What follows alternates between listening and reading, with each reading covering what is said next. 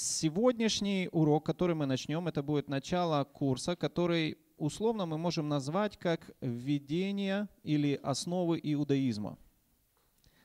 Поскольку у нас Мессианский еврейский библейский институт, э, соответственно, мы понимаем, что основная миссия или основное видение нашего института направлено на то, чтобы достигать определенную этническую группу людей, в данном случае еврейский народ – и то, как мы это делаем, мы делаем это в контексте еврейской культуры и еврейских определенных традиций. Поэтому нам с вами необходимо заложить правильное а, понимание того, собственно говоря, с чем мы имеем дело. Если мы говорим о иудаизме, если мы говорим о еврейской традиции, потому что мы понимаем, что традиции бывают разные, да? Мы знаем, что еврейский народ существует уже более трех тысяч лет. И если мы посмотрим на его жизнь, образ жизни, на философию, формы, об детей, взгляд на историю, все это и другое мы можем объединить под понятием еврейская традиция. Когда говорят о еврейской традиции, имеют в виду нечто существенное, отличное от того, что у других народов, самых разных, древних, молодых, называется национальной традицией. Как вы думаете, почему?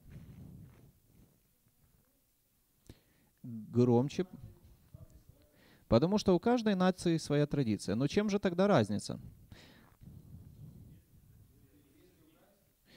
А, в культуре, быт. Ну, понятно, у каждого... Еще раз, смотрите. А, Валентин, ты подключи второй микрофон, хорошо? С этим самым, чтобы мы могли с вами разговаривать в кап... на равных, так сказать, да. Нет никакого сомнения, что существуют самые разные традиции разных народов. Есть какая? Есть украинская, есть французская, есть венгерская, корейская, национальная какая-то традиция. И мы можем спросить, например, вот скажите, пожалуйста, друзья, что является э, источником французской традиции. Как вы думаете? Образ жизни. Угу.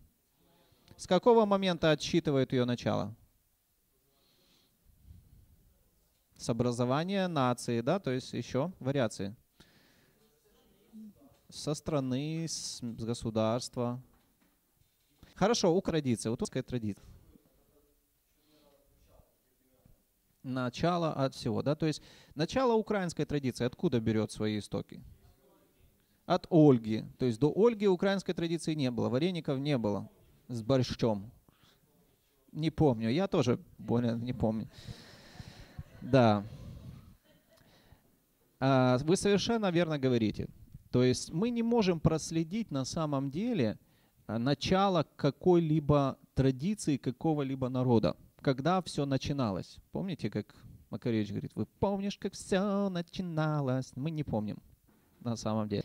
А еврейскую мы можем, по крайней мере, точно определить время, откуда пошла еврейская традиция. Потому что свой конкретный источник, откуда она началась, мы, э, еврейская традиция имеет. И источник этот называется Тора. Слово уже вам знакомое. Э, мы будем по ходу нашего курса учить с вами многие как бы, понятия и слова. Поэтому старайтесь их записывать для себя. Это ключевые моменты, с которыми вы потом будете работать в течение вашей учебы. Мы понимаем, что и религиозные, и нерелигиозные евреи соглашаются с тем, что Тора является основой еврейской традиции. Хотя в повседневной жизни не все ей следуют. То есть даже антисемиты, которые говорят о евреях хорошо, они понимают, что вот весь, вся эта история началась с Торы. Да? И когда мы читаем о возникновении еврейского народа как такового, мы можем его увидеть только в Торе. Мы не, мы не видим, что там какой-то магический свиток какого-то царя Хамунрапи там, или там еще кто-то, они говорят, вот, узнать, что существуют евреи. и вот так далее. То есть мы подробно читаем о том, как это было в Торе. И это находит свое выражение и в самом названии еврейской традиции на еврейском языке иврит. Да, мы знаем, да, что такое иврит, вы уже с ним познакомились. Э, некоторые очень успешно. С одной стороны, еврейская традиция называется Масарет Израиль. Масорет, на, на иврите вам написать? Можно написать, да. Масорет Израиль.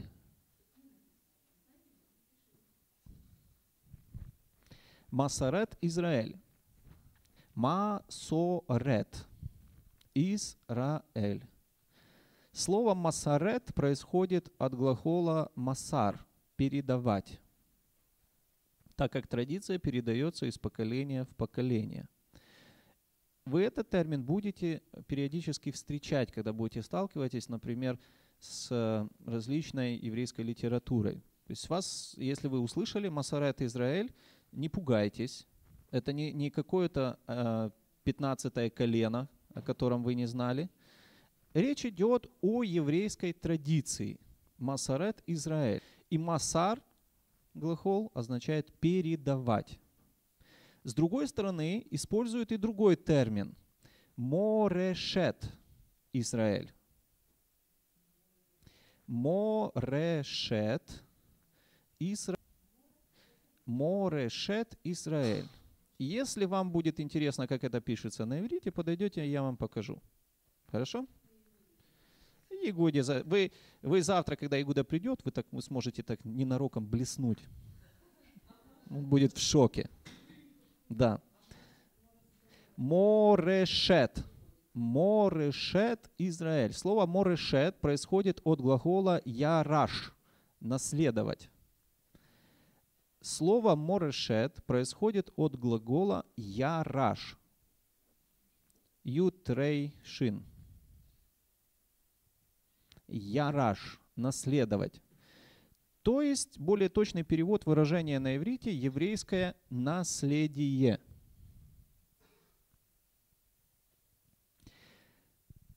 Оба названия близки по смыслу, но между ними есть определенное тонкое различие – когда говорят о Морешет Израиль, обычно подразумевают фундамент, на котором основана традиция. Говоря о Масарет, подчеркивает ее преемственность и связь между поколениями.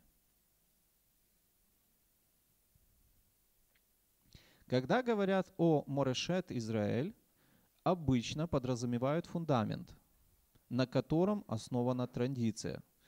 То есть это может быть устная Тора, это может быть Тора. Мы будем говорить об, этом, об этих терминах, разбирать их более подробно дальше. Когда же говорят о Масарет, подчеркивает ее преемственность и связь между поколениями. Ну, например, грубо говоря, у нас есть традиция в семье собираться каждое Рождество всем вместе. Да? Вот у христиан есть такие традиции, например. Да? Мы можем говорить о том, что это Масарет моей семьи. То есть у нас есть традиция. Уловили момент, да? Нет? Еще раз. Ну, вы тогда хотя бы записывайте, потом разберетесь. Когда говорят о Морешет Израиль, обычно подразумевают фундамент, на котором основана традиция. На чем основана традиция? Тора, да, мы говорили?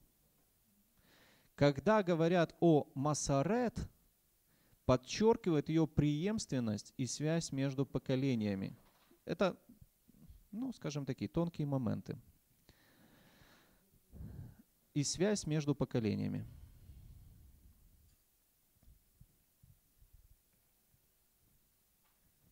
Слово Тора, Тора в переводе с иврита означает учение, наставление.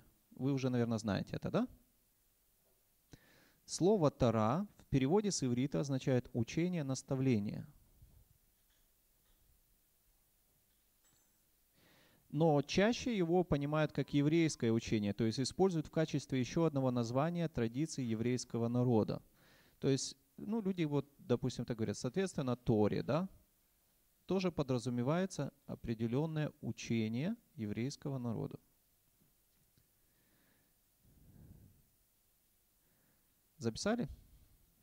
Часто употребляют и другие выражения, такие как письменная Тора. На иврите Тора Шебихтав. Письменная Тора в узком смысле это книга. В русскоязычной литературе обычно называемая пятикнижие или первые пять книг Моисея. Тора Шебихтав.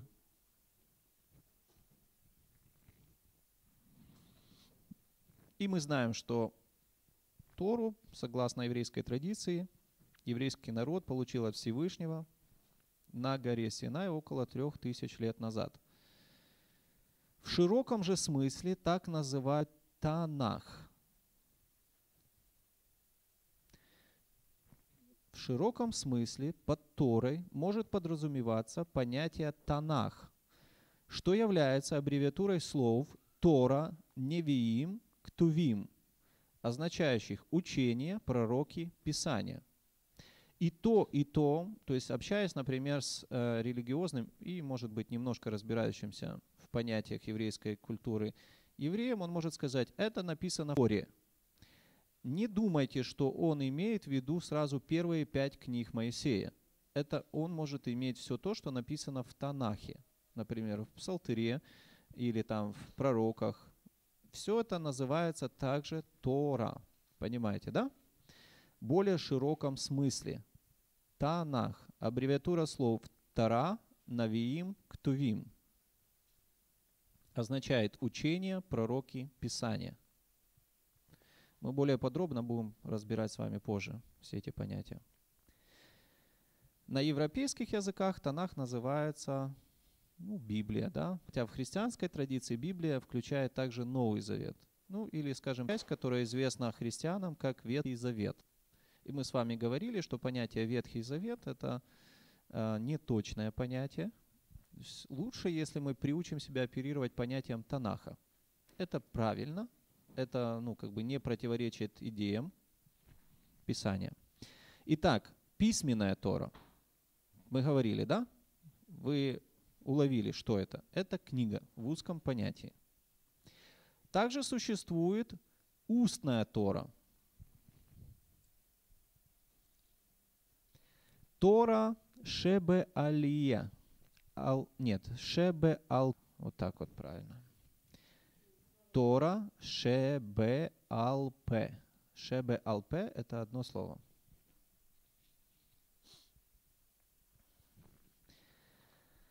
Что собой представляет устная Тора?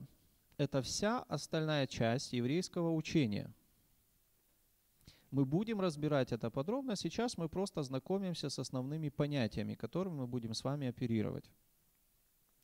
Называется она устной, потому что в отличие от письменной, как считают еврейские мудрецы, передавалась одного к другому, и только иногда, если угрожала опасность потери части традиции, наиболее важные ее части записывались.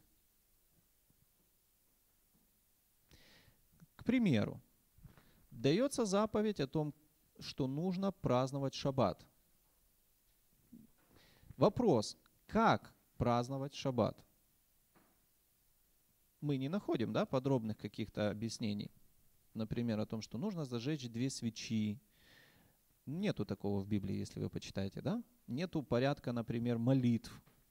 Барух ата Адонай, Элхейну Мелех Аллах, Машер Кишана Бенецютав там Вецивану, Лигадлик, Нершель, Шаббат. Нету такого.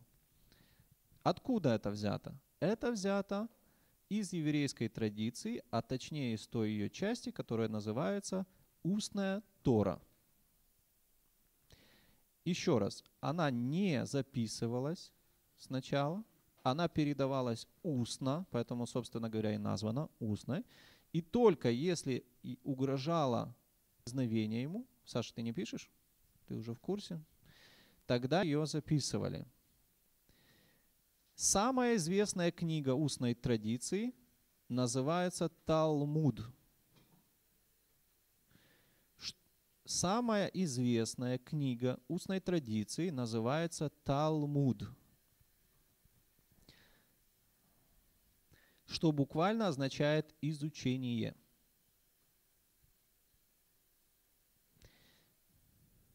Более подробно о Талмуде, Мишне и других книгах мы поговорим позже с вами. Самая известная книга устной традиции называется Талмуд.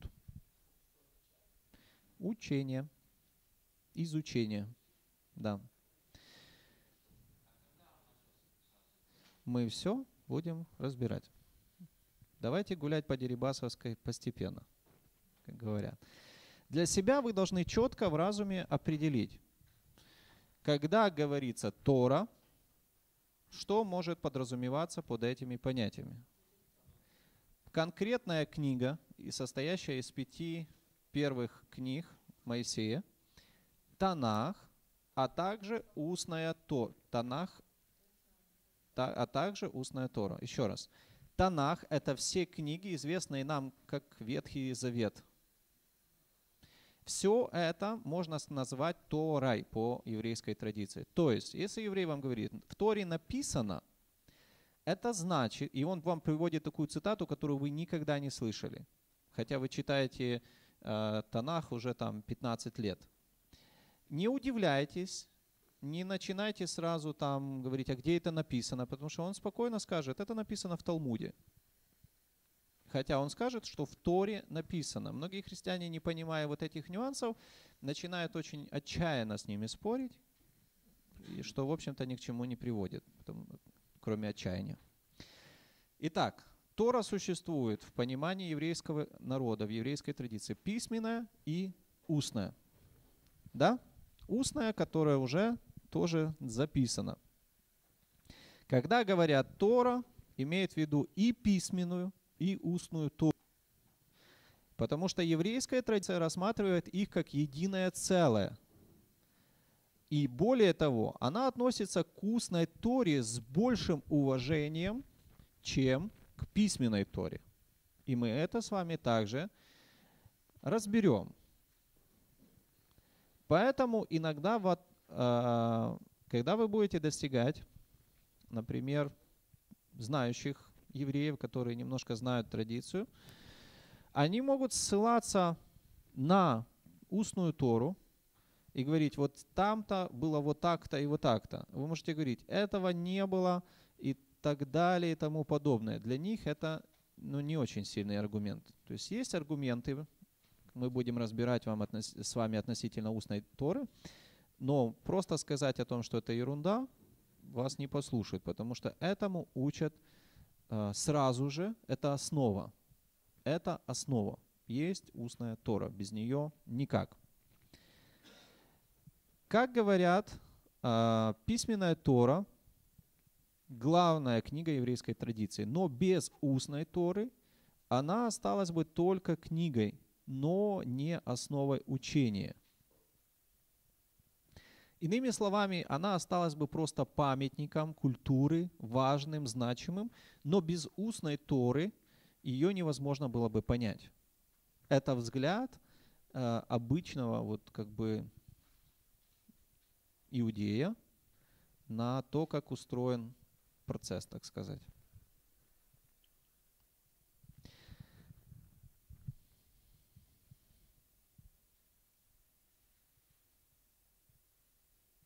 Есть множество притч, множество историй о том, почему должна быть Тора устная, почему это важно, почему без нее никак и так далее.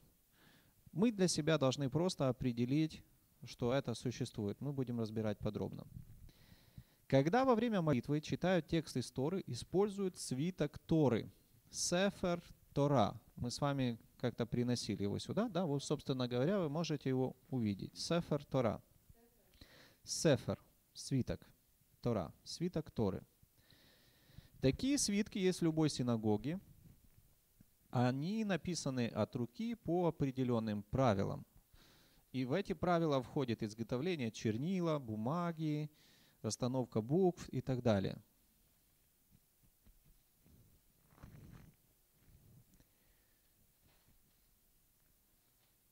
Согласно еврейской традиции, Тора была дарована еврейскому народу после его выхода из Египта. Мы это знаем, да?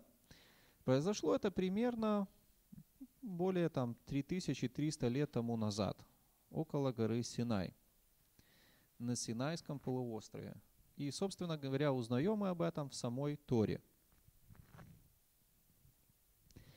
И это событие, дарование Торы, является центра... занимает центральное событие в еврейской истории и занимает особое место в традиции.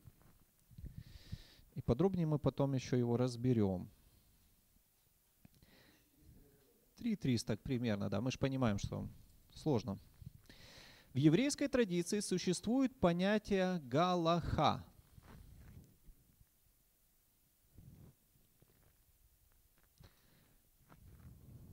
Галаха. Халаха, так оно пишется. Через хей, хей, ламет. Что там дальше? Хей, хет. Наверное, так. Халаха. Правила которая означает всю систему еврейского закона. Пока что вы просто запишите. Аллаха.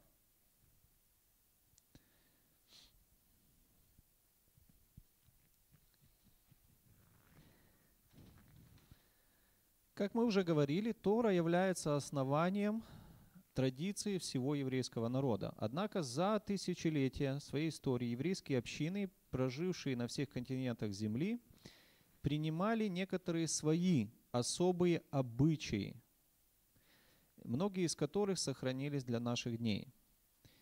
Все эти обычаи, если они не противоречат Галахе, часть еврейской традиции.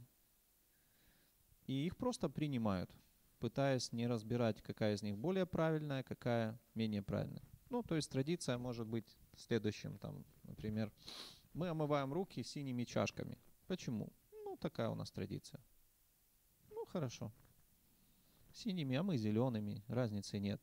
Но сама идея омывания этими чашками заключена в Галахе. Нужно обмывать руки.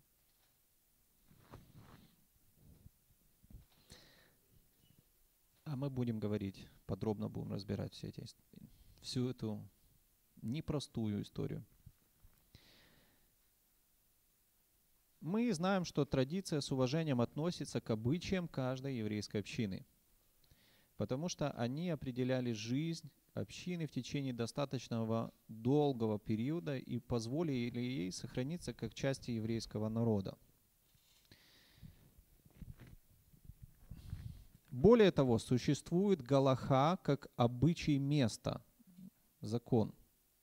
Например, в Западной Германии принято делать вот так. Да? Какие примеры христианской галахи мы можем привести?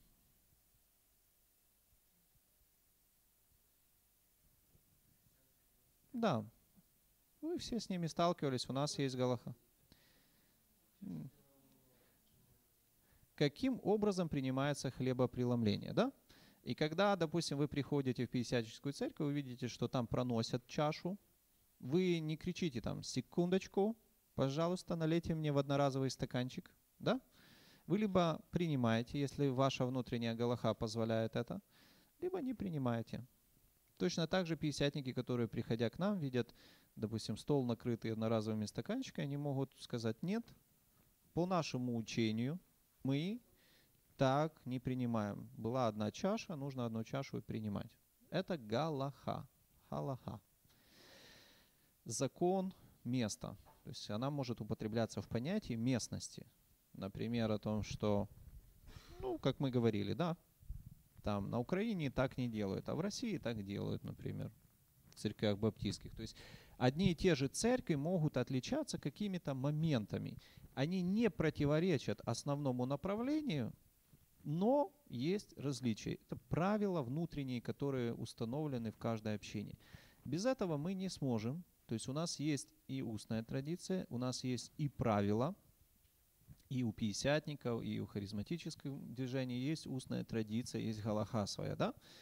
Например, о том, что там, мы будем собирать пожертвования три раза. Да, пожалуйста. Это галаха. Если мы соберем два раза, мы не согрешим перед Господом. или четыре раза мы не согрешили перед Господом. Это наше правило. Итак, есть, да? Давайте мы немножко повторим. Что такое Масарет Израиль? Угу. Амарешет Израиль. Так. Что такое Талмуд? Можно вот брать микрофон, и лучше брать микрофон, чтобы оставалось это Раз. изучение. А что такое Тора? Учение. Из чего состоит Тора? Из письменной и устной Торы, да? И Танах. И Танаха? Ну, она же письменная, да? Хорошо, идем дальше. Сегодня во всем мире насчитывается около 14 миллионов евреев. Как мы уже говорили, по обычаям и происхождению выделяют разные общины. На иври- на иврите слово «община» переводится двумя способами. Кехила, множественное число кехилот. На иврите слово «община» переводится двумя слова, способами. Первый – кехила,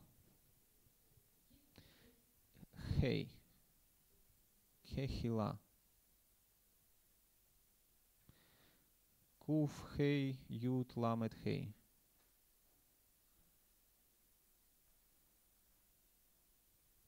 Множественное число кехилот, местная община – члены которые живут в одном месте, городе или квартале и постоянно посещают одну или несколько синагог, имеют свое управление и так далее. То есть, например, наша община это кехила.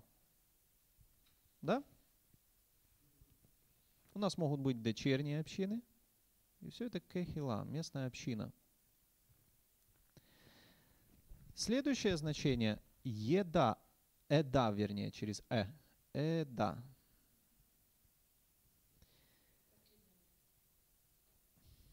Далет хей. Если вам поможет. Не поможет, я понимаю. Э, да. Общее название для группы кехилот, которые могут жить на большом расстоянии друг от друга, но их обычаи схожи. Например, в христианской традиции мы знаем, что это могут быть пятидесятники, харизматы, да, мессианские общины. То есть мы все говорим, это община Божья. Да? Но мы подразумеваем не как конкретно какую-то поместную церковь, мы подразумеваем определенную деноминацию. Хотя и то, и то мы можем назвать понятием церковь, понятие община. Существуют две крупные общины, как Эда, Эдот, можно так сказать. Это ашкеназы и сефарды. Ашкеназы и сефарды. Две крупные, самые крупные еврейские общины. Сефарды и ашкеназы. Это тоже определенные понятия. Если вы возьмете, например, молитвенник, Сидур, вы можете увидеть, что он написан для, там, например, там написано для Ашкинази, для Сфардим, например. Возможно, вы слышали, как по-разному молятся люди, да? Одни молятся, допустим, так. Бору, Хото, Адоной, Элохейну. Понимаете, да? А другие Бару, Хата, Адонай, Элохейну. То есть и так, и так правильно. Просто так принято молиться в одной общине, подразумевается именно не конкретная, а поместная община, группе, и в другой. Предки ашкеназов, ашкеназим, от, от ивритского слова ашкеназ, так в средние века называли Германию, ашкеназ – около тысячи лет тому назад жили в немецких княжествах. Откуда пошли ашкеназы? то, как мы в основном, вот те евреи, с которыми мы сталкиваемся, они принадлежат ашкена, ашкеназской традиции.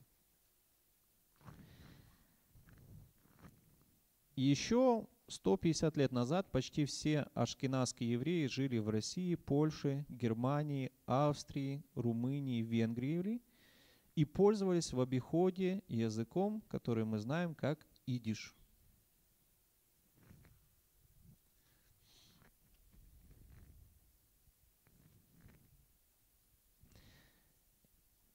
И еще 150 лет назад почти все ашкеназские евреи жили в России, Польше, Германии, Австрии, Румынии и Венгрии и пользовались в обиходе языком идиш.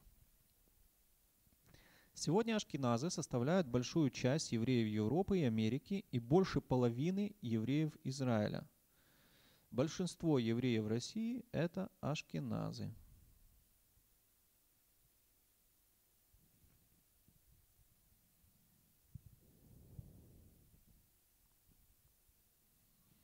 Записали? Это, ну, как бы важно понимать. Следующая группа – это сефардами, вернее, сефарды, извиняюсь. Сефарды. Сфарадим происходит от еврейского слова сфарад, средневекового еврейского названия Испании – Сегодня, как правило, называют евреев, которые не являются ашкеназами. Ну, вот так для простоты вопроса.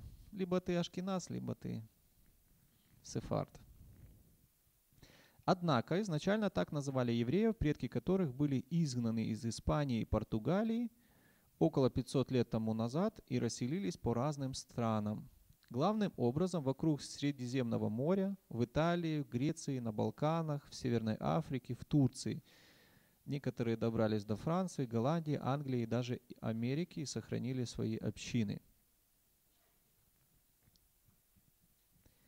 Затем в число сефардов начали включать и другие общины, по происхождению не имеющие отношения к испанским изгнанникам, но близкие к ним по обычаям – такие как иракские, йеменские, иранские, курдские, кочинские, то есть индийские и другие евреи. На территории СНГ к сефардам относят себя горские, бухарские и крымские общины. Не успели? С какой, так сказать, точки? иранские, йеменские, иракские, курдские, в Индии, которые общины были.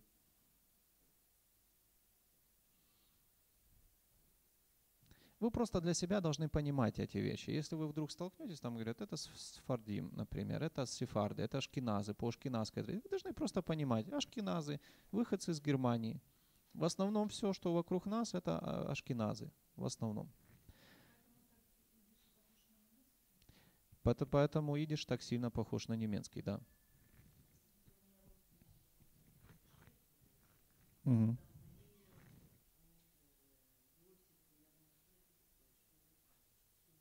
Угу.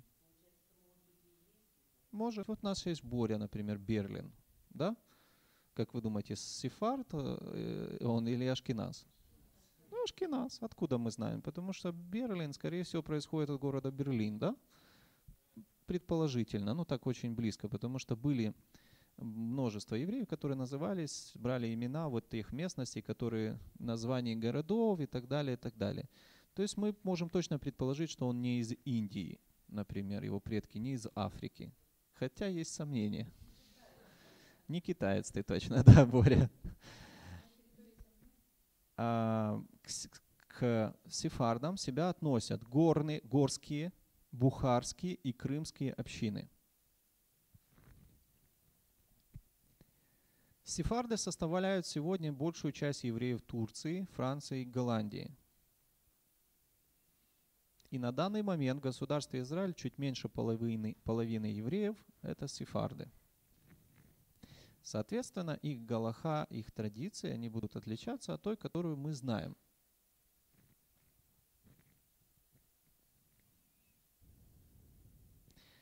Не только каждая эда, но также и многие кегелот бережно сохраняют свои обычаи в рамках общенациональной традициями. И для нас, может быть, людей не глубоко посвященных в эту субкультуру, мы можем не увидеть большой разницы.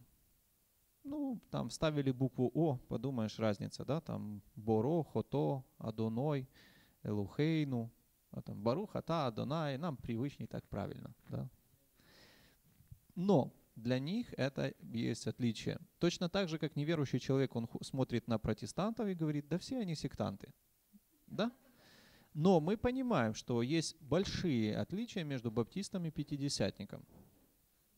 И если вы со своей, э, так сказать, со своей устной традицией попретесь на чужую территорию, вам быстро расскажут о том, что не надо этого делать. Да, со своим уставом в чужой монастырь не ходят. И под уставом, это очень хорошая такая поговорка, подразумевается именно устная традиция. Да? У вас принято так, у нас принято так. Пожалуйста, не надо. На своей территории делай то, что ты считаешь нужным. И для нас это важно понимать. А, так. Но при всем том мы понимаем, что есть нечто общее, что, в чем они очень сильно схожи. Надо сказать и надо помнить это, что все эти различия не противоречат тому, что все евреи — это один народ и являются потомками тех евреев, которые приняли в свое основание Тору.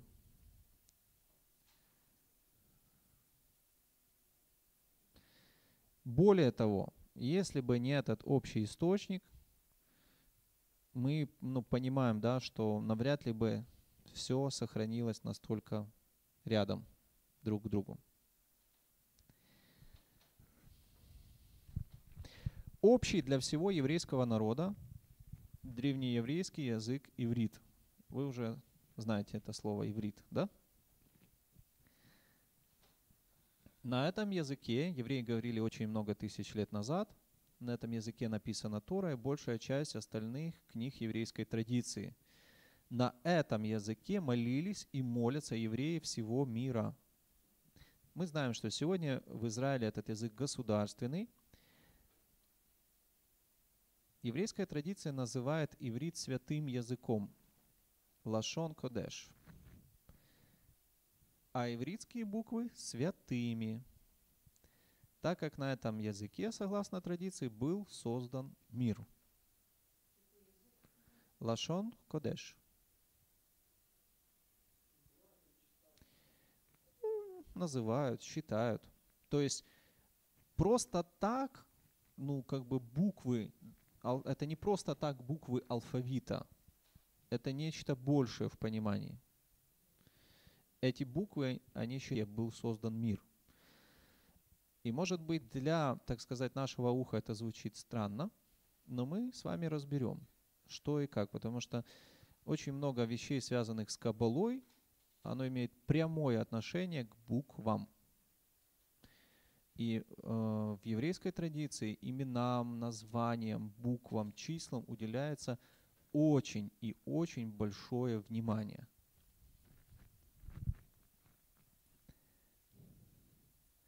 Мы понимаем, что современный иврит отличается от того языка, на котором говорили 3000 лет назад. И мы понимаем, что в соответствии с каждой конкретной галахой произношение слов на иврите, оно может также отличаться. Однако мы можем знать, что и сегодня израильский школьник, который хотя бы знает более-менее иврит, он может читать Тору без словаря, а, хотя современный иврит отличается от а, иврита Торы. Мы сейчас сделаем перерыв и продолжим с вами дальше.